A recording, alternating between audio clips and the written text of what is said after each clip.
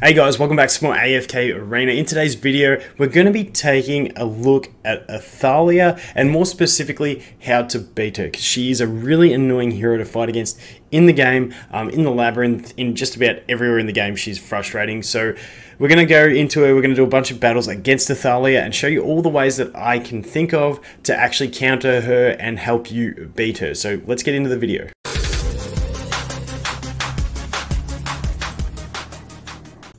Okay, so what we're going to be doing for this one is we're going to be going to friends and we're going to be challenging my main account just because that's the easiest way I can do it.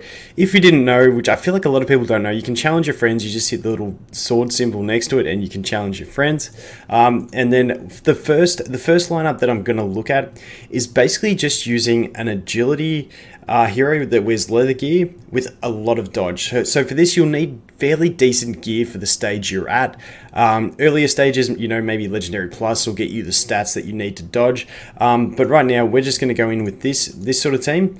And th there's my Ferael. I'm going to leave it on one time speed just so we can see the interaction with the Athalia. So he's basically just on full leather gear, really high dodge. As you can see, he dodged the first attack and then he dodged the kick, and Ferael has the fear, so he also managed to fear the Athalia. But that avoids that whole beginning CC, which is the most frustrating part about the Athalia. Um, it basically, let's just put this up to speed a bit it allows you just basically to mitigate that whole initial part of her uh, damage, which is the most annoying part of it. So that's that. Managed to trash bag my main account there. um, so that is just, like I said, use an agility wearer with high dodge and you should be pretty good. Um, the next option we're going to look at, unfortunately, doesn't save your team, which is really annoying on this thing. Um, the next option we're going to look at is a specific hero, and that is going to be Rosaline. So if we just do this, and then we throw Rosaline in there, what you'll see is basically she runs up and she manages to dodge that Athalia's first attack. Once again, completely mitigating that. Um, the unfortunate thing about this is I had the Ferael in there, which feared the Athalia, but if you don't have something like that, she is then, because Rosaline walks away from the initial strike, um, the Athalia is then going to walk forward and do the kick up, um, you know, her three stage combo attack that knocks you up. She's going to use that on your tank, which is definitely less than optimal. So that's the one downfall of the Rosaline strategy is that the the um, the Athalia will go ahead and attack your tank next. The next combo we're going to look at, if we go here, so we'll do this one. The next one I wanted to look at is going to be a Rowan. Um, so if we go like this, we can put the Rowan in and he's going to get immune to the first strike. There you go, he gets the immune. Um, and then you can see here, my Ferael there um, did manage to CC some enemies. He missed the Athalia. But the Rowan missing that first attack, he does get kicked up by the second one. Um, the other thing about this one is that the Rowan is not really optimal on the bottom or top. You, you normally want Rowan in the middle. So if the Athalia is in the middle, it's really nice. But you can definitely try putting Rowan on the bottom or the top, depending on where the Athalia falls, just to try and, you know, like avoid that. Yes, your top heroes won't get um, get the heals, but it's not too bad. Um, when we when we look further into this one, I'm just going to do another test with that exact same team, and we're just going to see if I just want to show you guys. We'll leave it on one time speed just for the demonstration. Uh, so we missed it. So. Sometimes you can get your Ferael to fear the Athalia. Same thing with Arden. Um, before, like while she's mid doing the kicks, but what you can also do is, um, so we'll go, but I hate having to select this, that's just annoying.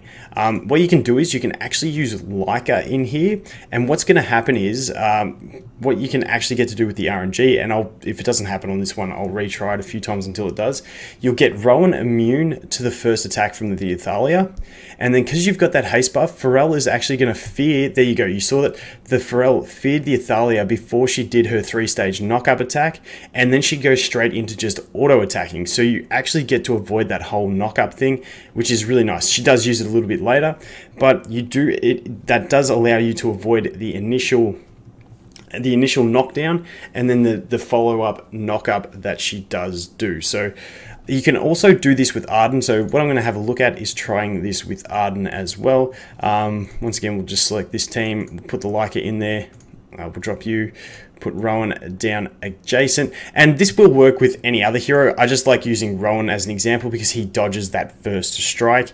Um, but once again, you can do this with an agility wearer, anything basically. The, the agility hero wearing leather is my favorite option. Personally, just because it allows you just to completely dodge everything and not even worry about it. Um, but once again, we're, doing the same thing as we did. I think we'll just do that. Doing the same thing as we did. Um, hoping for the RNG. It took me a lot of tries before I got Arden to root the Athalia last time when I was doing it off camera. Let's see if he does it. So there you go. Get get immune. Arden puts his roots up, as you can see. He missed the Athalia, but the timing does work out that he will actually get those roots up before the Athalia um, actually does her three-stage attack. So his timing is very, very similar to the um, to the Ferael and really, really nice. Um, the next option I want to look at is going to be uh, another sort of free-to-play early game option, but this is a really good early game option. I do really like this one as well and that is going to be Silvina. As you can see the Silvina here, we're going to step into the battle, and Silvina is going to do her teleport to attack the, the weakest mage, and she's just going to completely avoid that Athalia's ability um, to do the knockdown at the start. Once again, same issue with Rosaline is that you're going to have um, you're going to have the Athalia go and use her kick on the tank.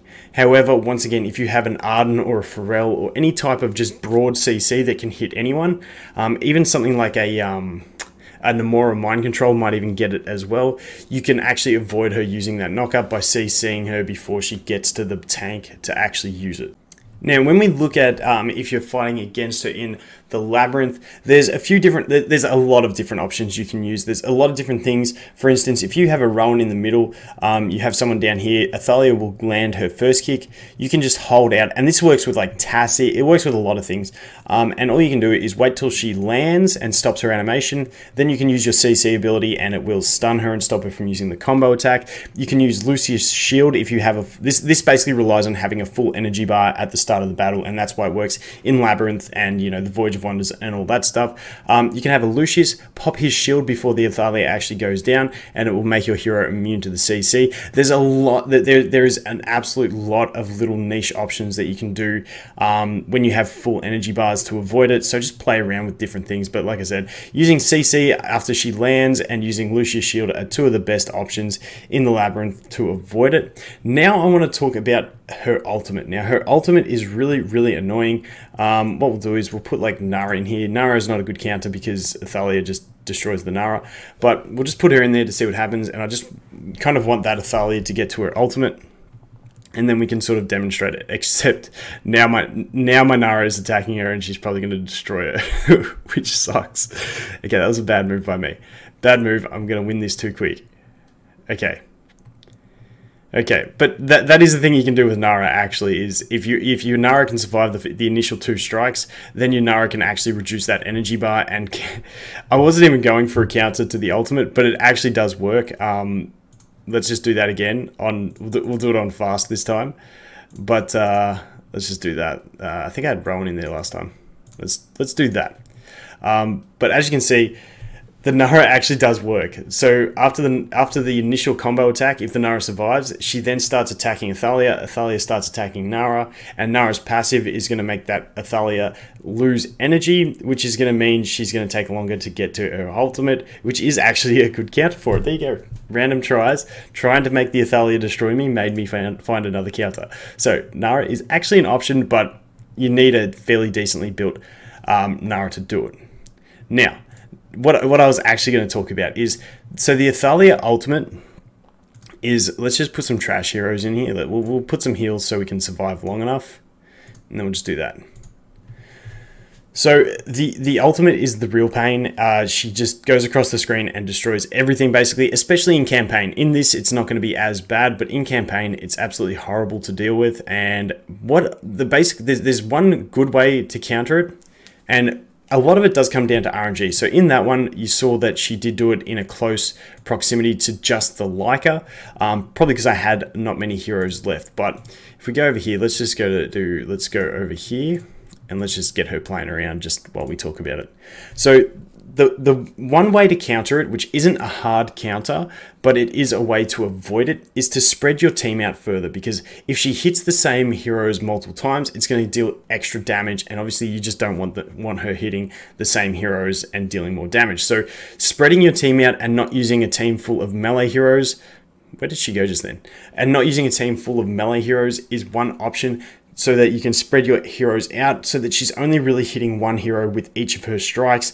It just, like I said, if they're grouped up, one, they take more damage from um, successful, uh, from more hits in succession. Successive. That's the word I was looking for. They take more damage from successive hits, so you want to avoid that. And also, spreading them out means hopefully she'll only hit one one of your heroes with that. Now there are hard counter options to her um, ability, kind of like the Nara where we used um, to stop her getting energy. You can use, you, you can, I, I, the two the two hard counter options that I can think of are very annoying because you can't really get them that free to play. So the two options that we do have are an Orthros. Um, Orthros is going to be able to put that energy reduction thing on. However, you'd need a beefy Orthros to be able to withstand um, the first attack and then do it. Something you could try is in a Labyrinth, you could use the Lucius Shield protects Orthros, then he'll put his energy thing on the Athalia. That's an option if you are in um, Labyrinth, but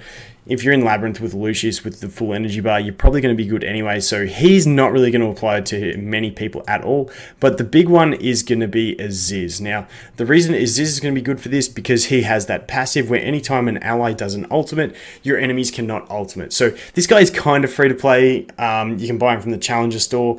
So he is going to be the other hard counter. But once again, a lot of people aren't going to have him built, so it's not going to be too effective. But if you do, give it a try because he's just good to counter the entire enemy team. If you guys use, if your team is using their ultimates enough, the enemy team won't actually be able to do it and you'll be pretty fine. So the ultimate is just that little bit harder to counter. Um, you can just try and kill her before everything else happens, but those are my main counters for it. You've got the, the two ways to really dodge it um, being the um, Rosaline and the Silvina, but Silvina obviously does drop off. Then you've got the agility wearing hero that can just dodge it flat out. You've got Rowan who's immune to the first strike, um, and then you've just got those general CCs with the Lyca is really nice because Lyca will mean that they don't get hit by the second CC of Athalia um, due to either Arden or Ferael or anyone else's CC being able to land faster. But that is going to be it for this one, guys. Thanks for watching. I look forward to seeing you in the next one. Cheers.